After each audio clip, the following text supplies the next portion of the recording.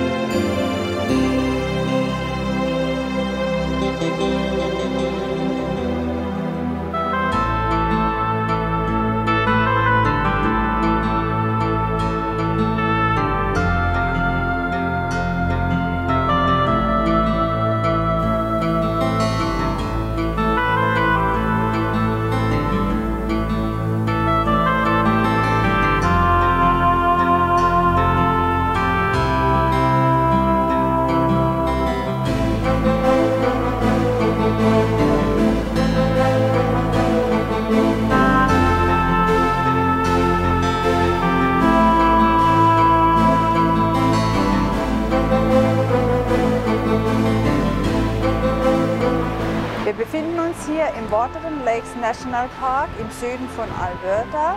Dieser National Park ist ein sehr kleiner, wahrscheinlich einer der kleinsten, dafür aber nicht minder interessantesten Parks in Kanada.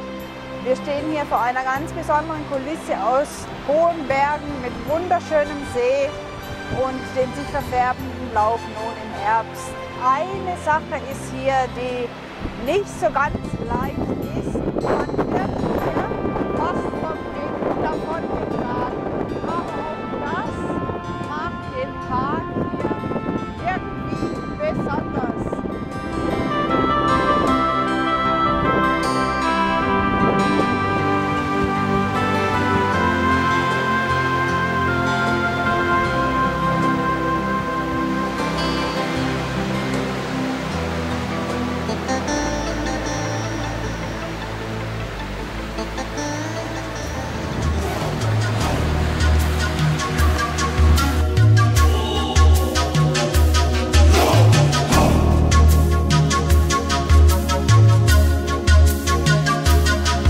Waterton ist der Nationalpark für Wildbeobachtungen.